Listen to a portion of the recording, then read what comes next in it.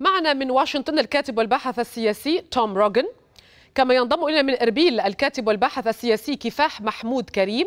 وينضم إلينا من القاهرة أستاذ العلاقات الدولية دكتور طارق فهمي. ومن المنامة الكاتب والباحث السياسي سعد راشد. أهلا بكم جميعا. أبدأ معك هذا الحوار سيد توم روجن في عاصمة الحدث اليوم واشنطن. آه إدارة ترامب التي أبدت عزمها على إحداث تغيير جذري في المنطقة. ها هي تنجح في ذلك. برأيك ما أبرز ملامح التغيير الذي ينتظر منطقة الشرق الأوسط والخليج بعد توقيع هاتين الاتفاقيتين؟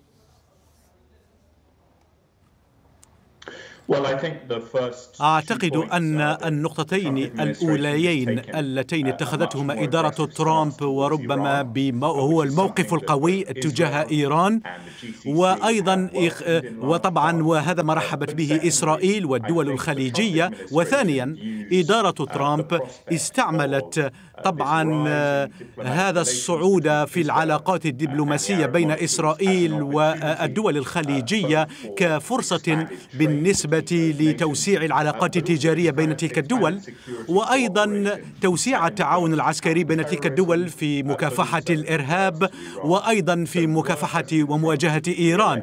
إذا الرئيس ترامب يريد طبعا أن يعاد انتخابه في نوفمبر وأعتقد بأن هذا سيكون الزخم الذي سيجعله يحقق ذلك حيث إنه بنى هيكلة. طبعا ليس تحالفا ولكن شراكة في الشرق الأوسط بطريقة لم تتحقق من قبل. وأيضا تغيير كبير ومقاربة كبيرة. انظروا مثلا إلى ما يطرحه جو بايدن بإعادة الولايات المتحدة إلى الاتفاق النووي مع إيران. وربما هذا سيؤثر على تدهور أو سيؤدي إلى تدهور العلاقات مع الدول الخليجية وإسرائيل. نعم، دعني أشرك السيد روجن من المنامه الكاتب والباحث السياسي سعد راشد، المنامة أو مملكة البحرين إحدى دولتين خليجيتين ستقومان اليوم بتوقيع اتفاقيات مع إسرائيل أو اتفاقيات سلام. يعني هذا أول اختراق من هذا النوع سيد سعد راشد. منذ معاهدتي السلام مع مصر عام 79 والأردن عام 94 من القرن الماضي. ما الذي يمنح برأيك ذلك من مكاسب للبحرين؟ اولا مملكة البحرين هي تعتبر شريك استراتيجي اليوم في المنطقة في في دعم عملية السلام. هاي نقطة. النقطة الثانية إحنا اليوم لدينا تهديدات كبيرة لدينا آمال كثيرة.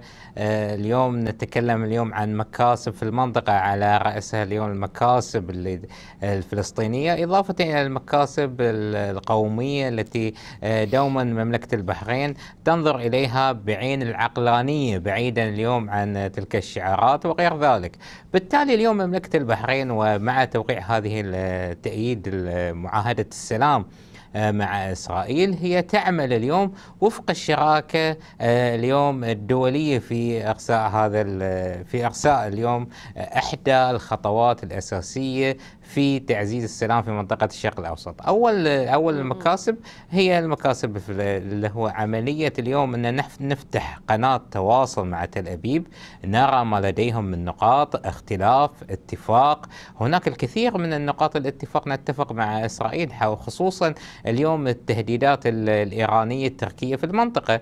خصوصا التهديدات الإيرانية لو نتحدث هناك اتفاق يعني ما بين دولنا بأن هذا التهديد يجب إيقافه في منطقة في منطقة الخليج العربي خاصة على الساحل الخليج. وبالتالي هنا نقاط اتفاق نقاط الخلاف التي يجب أن نفتح لها قنوات تواصل بعيدا. يعني اليوم الفلسطينيين لا يريدون الجلوس على طاولة الحوار مع تل أبيب. وبالتالي هل هل نرفض أن أن نقوم بالجلوس على هذه الطاولة والتفاوض من أجل أن تكون فلسطين دولة لديها عاصمة القدس الشرقية والتي تتفق تماما مع مبادرة السلام العربية. وبالتالي اليوم كذلك لا ننسى كذلك المصالح الاقتصادية المصالح في المجالات العلمية والزراعية وغيرها. اليوم لدينا اليوم لدينا شراكة حقيقية في عملية السلام وشراكة حقيقية وتكاملية في العمل في المجال الاقتصادي كذلك. وبالتالي اليوم إحنا يجب أن نضع اليوم آه، العقلانية في مسألة العلاقات الدولية. وهذه نقطة. والنقطة الثانية يجب أن نكون واقعيين. يعني هل لدينا اليوم آه، اليوم آه، لدينا علاقات متشعبة وكبيرة في المنطقة؟ ليش وقفت فقط على إسرائيل؟ وبالتالي آه من يهدد اليوم أمن الخليج العربي؟ هل هي إسرائيل أم إيران؟ وبالتالي هنا هنا تأتي العقلانية في العمل في العلاقات الدولية. آه دعوني أنتقل إلى سيد طارق فهمي في القاهرة. آه سيد فهمي يعني كيف يمكن الانطلاق من هاتين الاتفاقيتين اليوم لبناء علاقات طبيعية قد تخدم المنطقة كما يقول آه، البعض ومن بينهم مايك بومبيو الذي قال بأن آه، إقامة علاقات دبلوماسية بين دول المنطقة وإسرائيل سيصب في مصلحة كل الأطراف.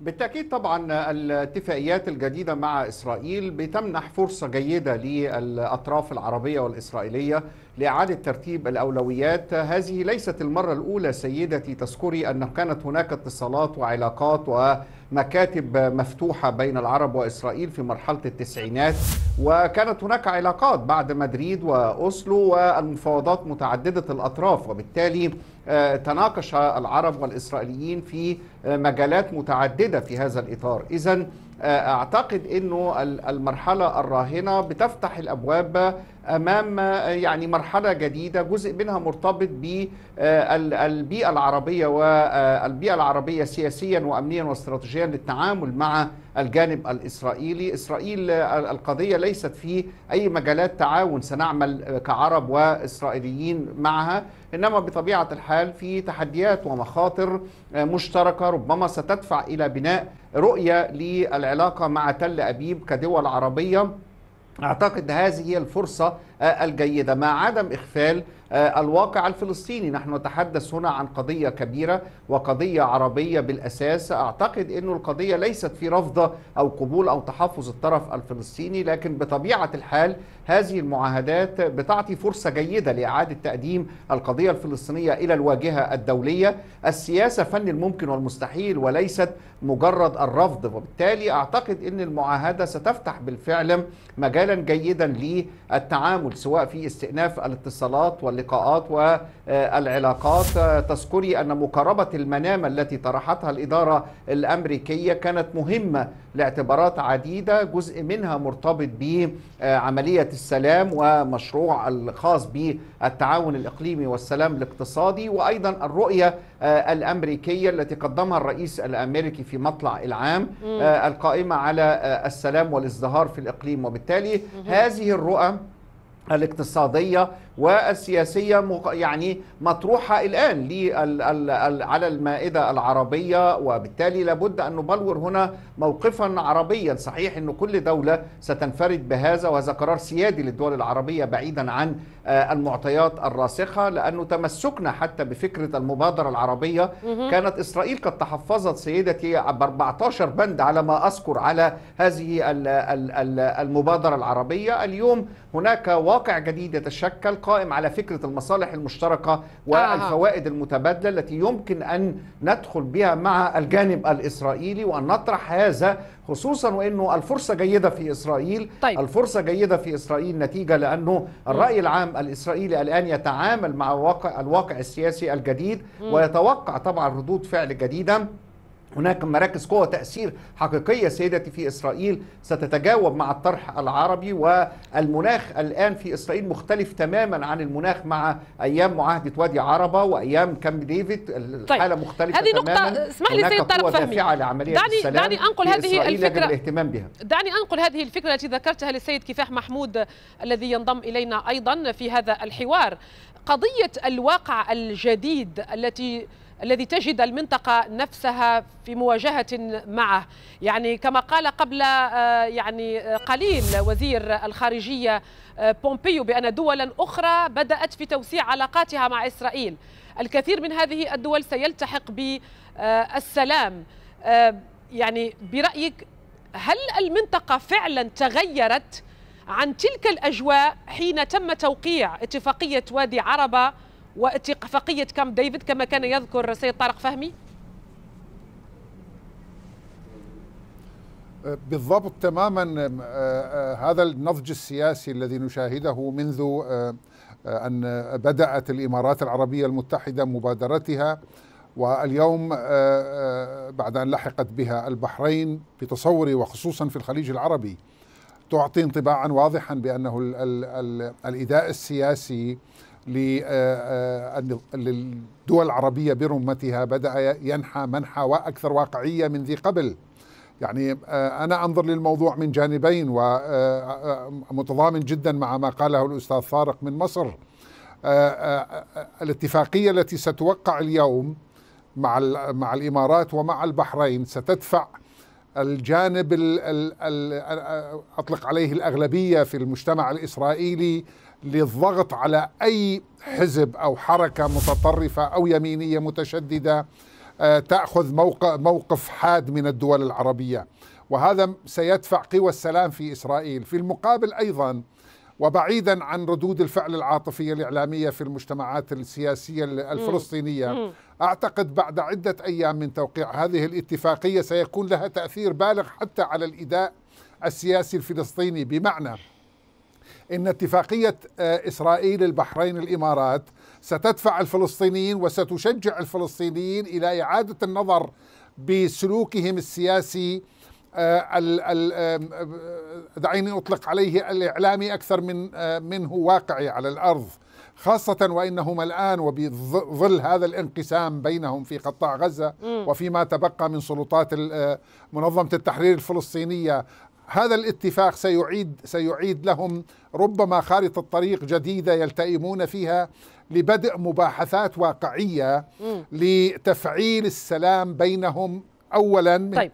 بينهم أنفسهم هم الفلسطينيين وثانيا للذهاب للذهاب بفريق واحد مدعوم من قبل دول السلام العربي الإمارات والبحرين والأردن وجمهوريه طيب.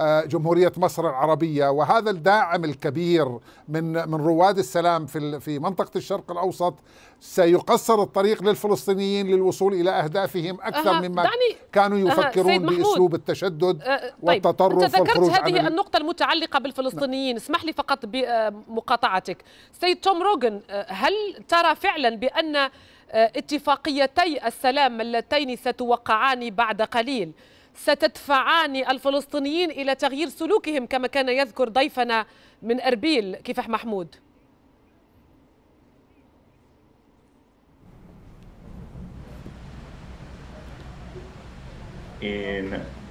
سياسي في في الضفة الغربية وحماس هو ضد المصالحة.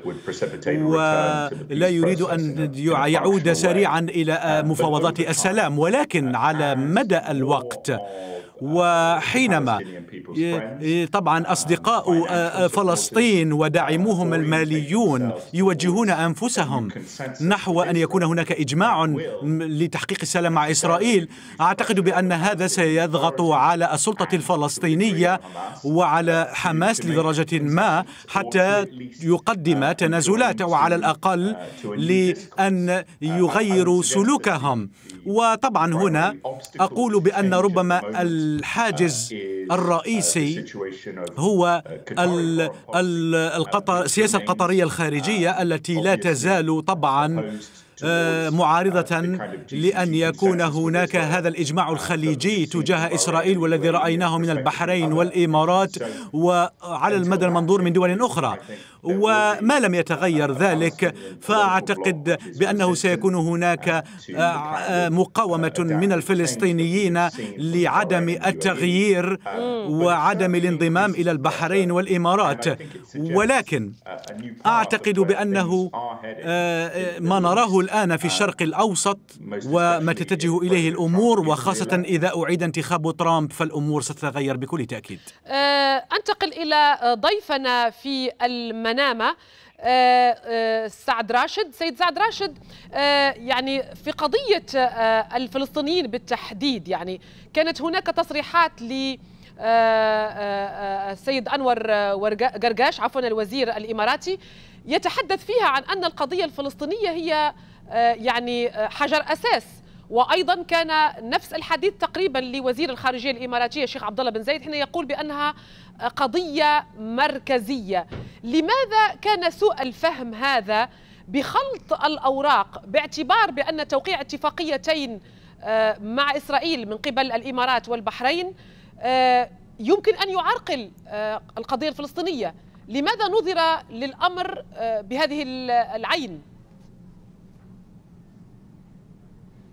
آه النقطة الأولى الاتفاق آه الإمارات والبحرين أن القضية الفلسطينية هي قضية الأساسية في المنطقة.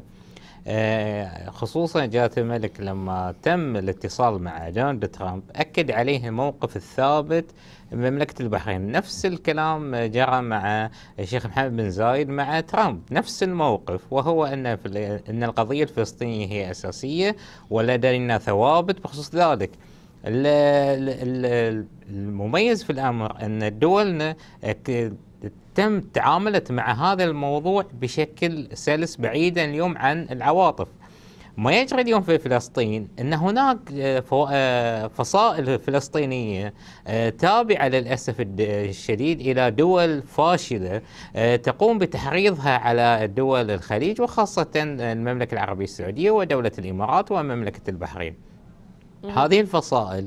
آه، يتم تمويلها من قبل هذه الدول وعلى رأسها اليوم تركيا. تركيا هي اليوم أردوغان هو المتاجر الأول للقضية الفلسطينية وهو من أول دولة يعني هو من الدول التي تم توقيع معاهدة السلام مع إسرائيل ولديه الكثير من التبادلات التجارية تصل إلى سبعة مليارات والكثير من الأمور ومصانع الأسلحة وبالتالي اليوم هذه الفصل يجب أن تعي أن آه، أن أردوغان أو النظام الإيراني أو الأنظمة الفاشلة التي تدعمها يجب أن يبتعدون عن هذا المنظور وأن يتجهون إلى الواقعية وأن يضعوا يدهم اليوم مع يد الدول التي تقوم اليوم بتوقيع اتفاقية السلام آه، اسمح لي فقط اسمح لي سيد سعد راشد. اذا اسمح لي سيد سعد راشد لأنه نحن نتابع طبعا هذه الصور.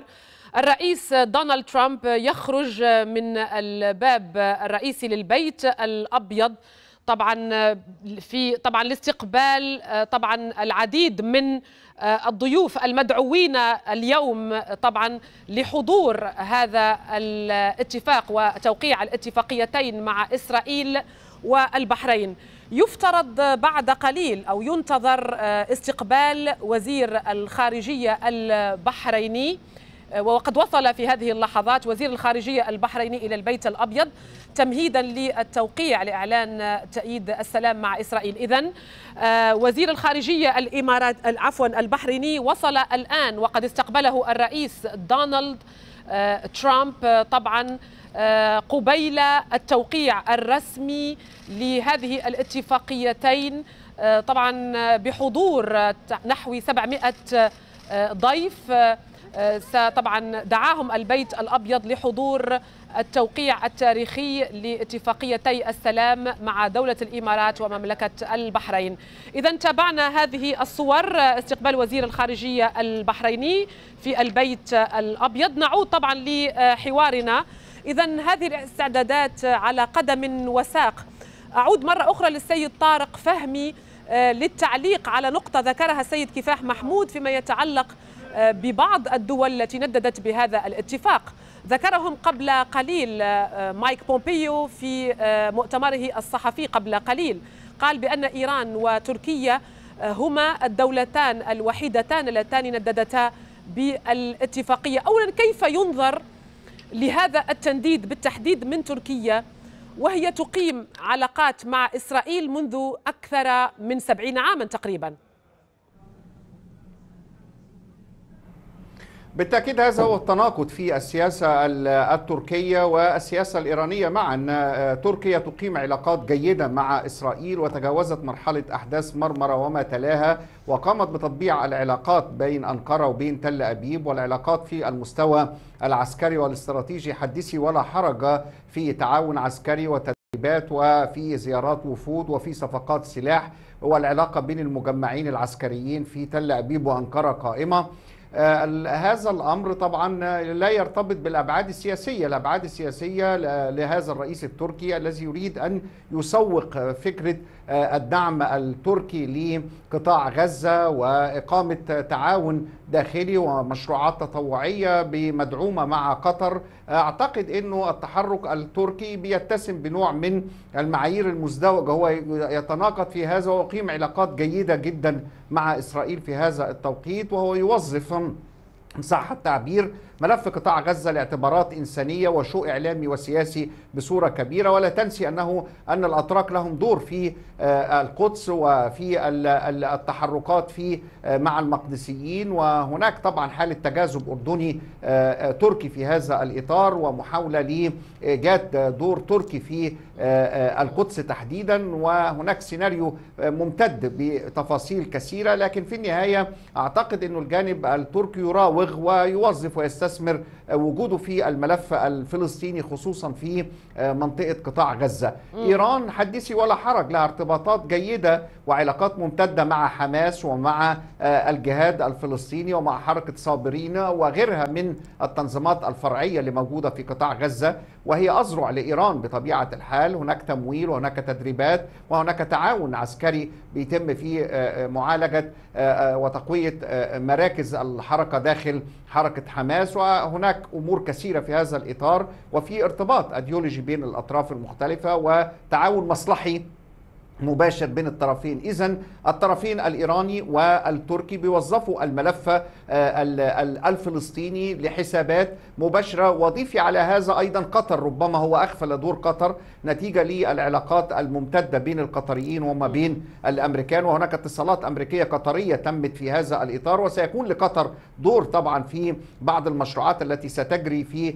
قطاع غزة تحديدا لأنه المخطط الأمريكي سلام اقتصادي ومقاربة اقتصادية في القطاع. وبطبيعة الحال هذه الأطراف الرافضة أعتقد إنه سيكون لها موقف في الفترة المقبلة وعلينا أن يعني نراهن أن هذا الدور لن يتغير لأنه الإيرانيين والأتراك بيتحركوا بحسابات مباشرة والإيرانيين يريدوا أن يتواجدوا في الإقليم والقضية ليست تباهي في وجود وجودهم في عواصم عربية أو غيره لكن الآن أعتقد إنه الإيرانيين لديهم مشروعهم الذي سيعيد النظر فيه بعد قليل لأنه المنطقة والبيئة العربية حضرتك ستتغير البيئة السياسية والأمنية والاستراتيجية للإقليم بأكمله ستتغير مرحليا وبالتالي إيران ليس سيكون لديها أيضا مراجعات ستجرى في هذا الإطار. المخاوف الإيرانية من عودة مواقف عربية ومحاولة أن يكون هناك تهديد مشترك بين العرب وبين ال إسرائيل في مواجهة التهديدات الإقليمية سواء كانت في من إيران أو سواء كانت من تنظيمات إرهابية موجودة. وأيضا المد التركي الكبير في الإقليم الأتراك خرجوا إلى خارج حدودهم وبطبيعة الحال خروجهم للعودة إلى العثمانية والأناضولية الجديدة في الإقليم من ليبيا إلى سوريا إلى العراق إلى الخليج. كل ده أعتقد سيتغير وهذه الأطراف الإقليمية تخشى من أن يكون هناك بيئة عربية جديدة تواجه هذه المخاطر سواء كان بوجود إسرائيل أو وجود الولايات المتحدة الأمريكية لأنه في النهاية مهندس كل ما سيجري الولايات المتحدة الأمريكية والرهان على استمرار هذه الإدارة الأمريكية أعتقد مهم. والإدارة الأمريكية بصرف النظر عما يقال في استمرارية الإدارة أو عدم استمراريتها الإدارة الأمريكية أيا كان يعني سواء كانت إدارة جمهورية أو ديمقراطية طيب. ستبقى في المنطقة لن ينسحب الأمريكيين بطبيعة مم. الحال مم. الإدارة الأمريكية موجودة وسيكون لها دور وستتابع كل ما يجري في مراحل التنفيذ الأمر لن يقتصر على اتفاقيات اقتصادية أو تعاون اقتصادي أو غيره الإدارة الأمريكية ترسم مخطط كامل لعملية السلام والإزدهار تشاهدين على الشاشة كيف يتعامل الرئيس الأمريكي بهذا الأمر كل ده موظف داخل المعركة الانتخابية وله حساباته وتقديراته ومكسب كبير كبير اليوم هو يتطلع إلى نوبل ويتطلع إلى ولاية ثانية. فالجانب الأمريكي لن يسمح بتخريب أو إفشال هذه المعاهدات وسيقف بقوة أمام المخطط الإيراني التركي وأيضا أمام الفصائل الإرهابية التي ستهدد بعد قليل طيب. بإمكانية أن تخرب هذا الاتفاق. لن تسمح الإدارة الأمريكية ولن تسمح الأوضاع الجديدة في الإقليم بأن يكون لها دور في المرحلة المقبلة. أعود مرة أخرى إلى السيد توم روجن في واشنطن. هناك أزمة ثقة يعني لا يمكن إنكارها بين إسرائيل والجانب الفلسطيني سيد توم روجن اتفاقيات عديدة أبرمت مع إسرائيل. هناك من يقول بأنها لم تنجح في كسر هذا الجليد آه، بشكل تام بين الفلسطينيين والإسرائيليين. اتفاقية اليوم إلى أي مدى برأيك ستحدثان فرقا في هذه المسألة؟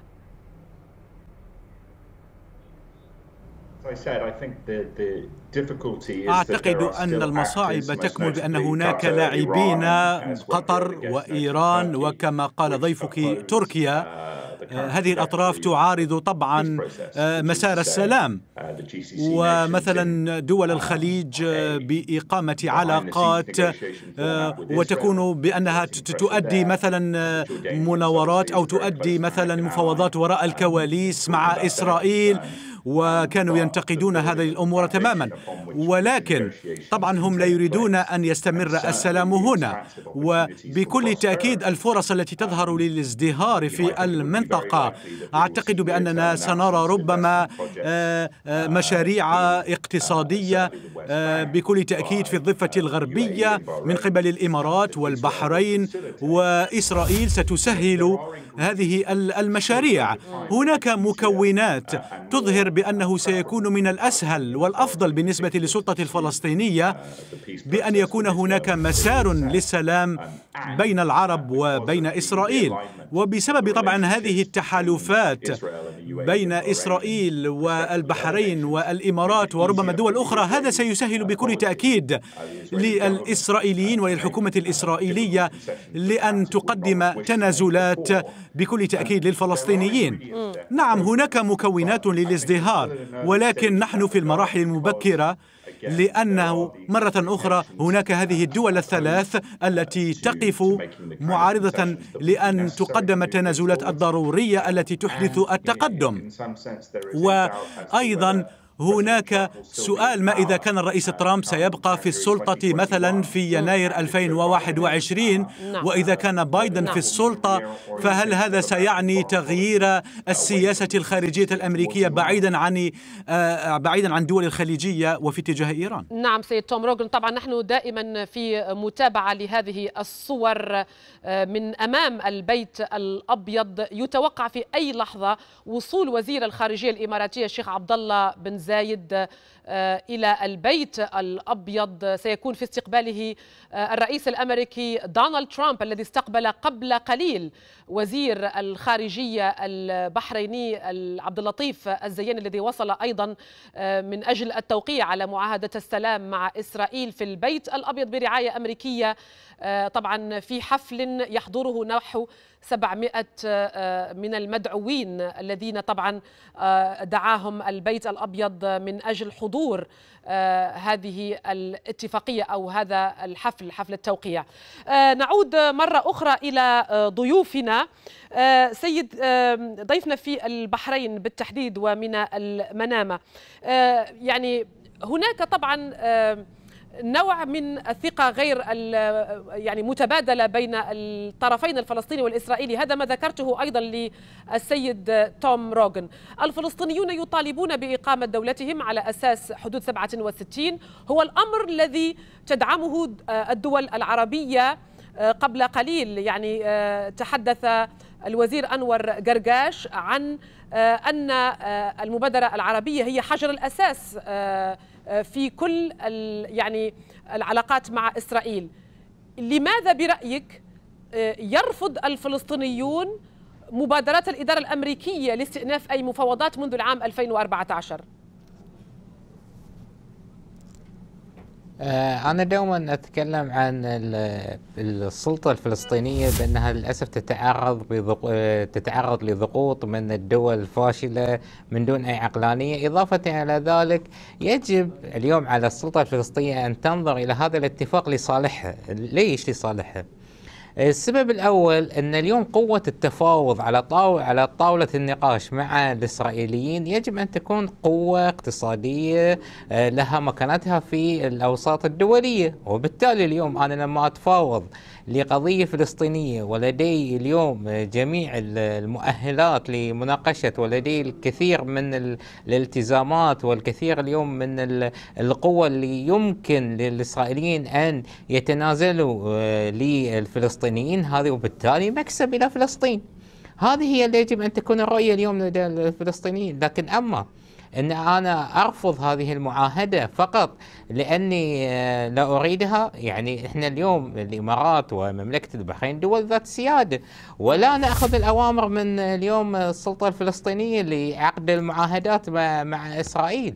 إحنا اليوم لدينا مصالح مشتركة لدينا اليوم أعداء مشت...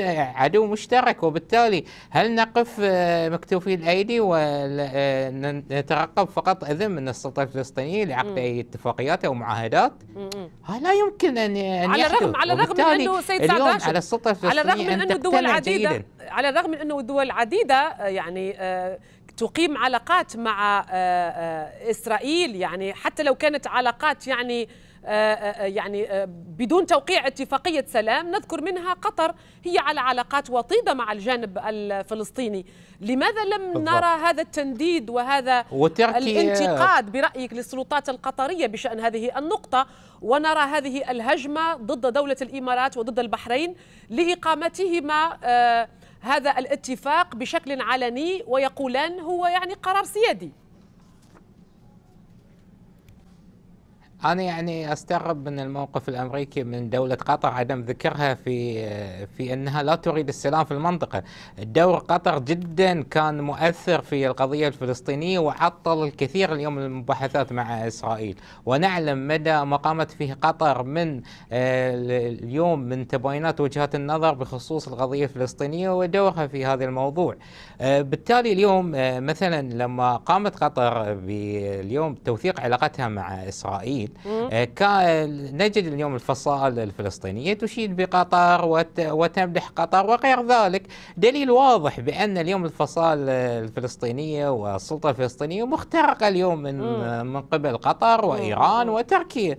وليس لديها اليوم سيادة اليوم طيب على قراراتها. وبالتالي اليوم كيف إحنا كدول اليوم؟ كمملكة البحرين والإمارات؟ اسمح لي فقط سعد كيف إحنا كدول اليوم أيوة. بمملكة البحرين والإمارات أه. أن نثق بهذه السلطة أه اسمح لي أعود مرة أخرى للسيد طارق فهمي وأيضا بعد قليل السيد كفاح محمود أنا ما نسيتكم السيد طارق فهمي والسيد كفاح محمود أه سيد طارق فهمي العديد من الدول تقيم يعني اتصالات مع السلطات الإسرائيلية ومنذ أه سنوات أه خروج الإمارات والبحرين أه يعني علنية آه، بعقد هاتين الاتفاقيتين. آه، نعم يبدو يبدو بأن السيد كفاح محمود ليس معنا. عموما معي السيد طارق فهمي. هل سمعتني سيد طارق فهمي؟ سيد طارق فهمي. أسمع حضرتك تفضلي. طيب آه يعني برأيك التغيير أسمع حضرتك تفضلي. وأنا كمان بسمعك. التغيير الذي أحدثته دولة الإمارات ب يعني إبرامها علنية اتفاقا مع إسرائيل. يعني هذا الأمر آه، لم نعهده بين دول خليجية وإسرائيل. الأمر يحدث بين قطر وإسرائيل ولكن أنت ترى ازدواجية آه، في النظرة آه، النظرة الفلسطينية للأمر.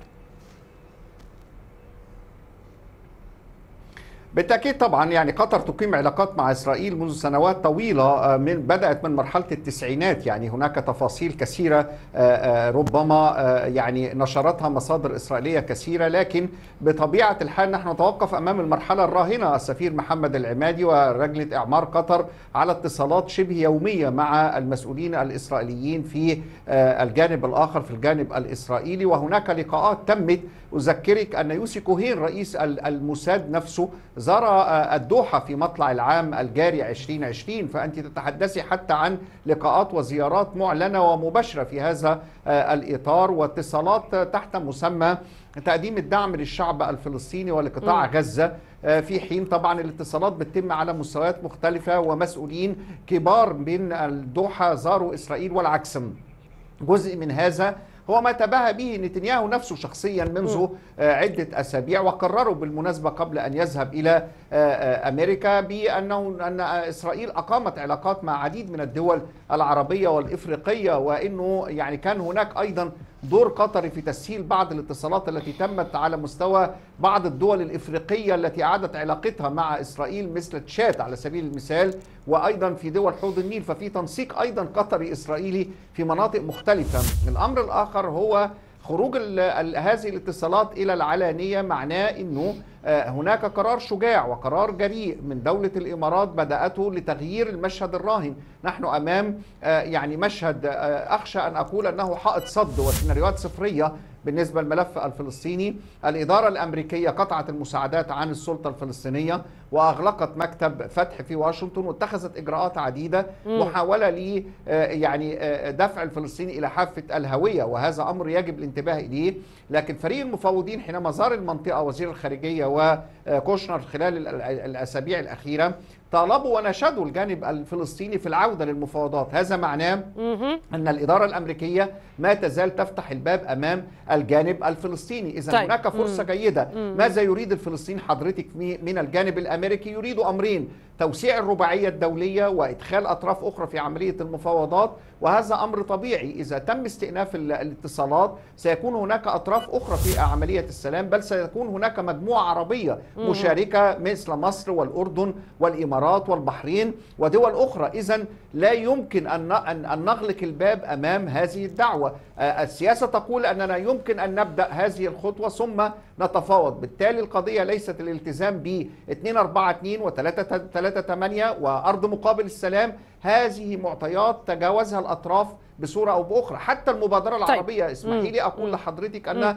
الجانب الإسرائيلي تحفظ على كثير من بنودها. فاليوم هناك دعوة جديدة بتطرحها دولة الإمارات العربية لإستئناف طيب. عملية السلام والتسوية. أه. وعلينا أن نواجه الآن ما يحدث في إسرائيل. سيد, سيد كفاح محمود إذا عدت بك إلى الموقفين التركي والإيراني وهما الموقفان اللذان ذكرهما مايك بومبيو قبل قليل بقوله بأنهما الدولتان الوحيدتان اللتان نددتا بالاتفاقية لماذا برأيك هذا التنديد بالتحديد التركي باتفاقية كهذه وتركيا تقيم علاقات مع إسرائيل يعني هل فهمت الدوافع التركية صراحة منذ تقريبا نحو شهر؟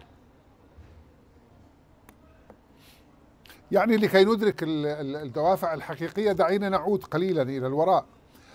بعد فشل النموذجين في الحكم في للإسلام السياسي في أفغانستان ومصر وانتهاء هذا النموذج على الأقل في في منطقة الشرق الأوسط بدأت قوى الإسلام السياسي تذهب إلى مسألة المتاجرة في أو الاستثمار في في تجارة العامل العامل الفلسطيني أو قضية تحرير فلسطين والتعامل مع بين قوسين الكيان الصهيوني وإلى آخره.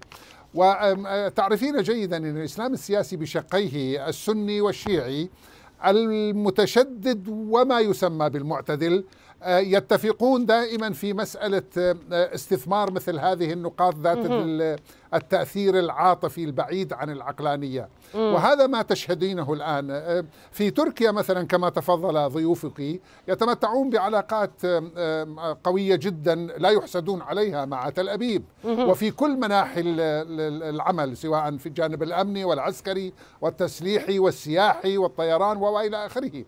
أعتقد تماما أن حتى المحسوبين على إيران مثل حزب الله وبقية الأذرع الإيرانية.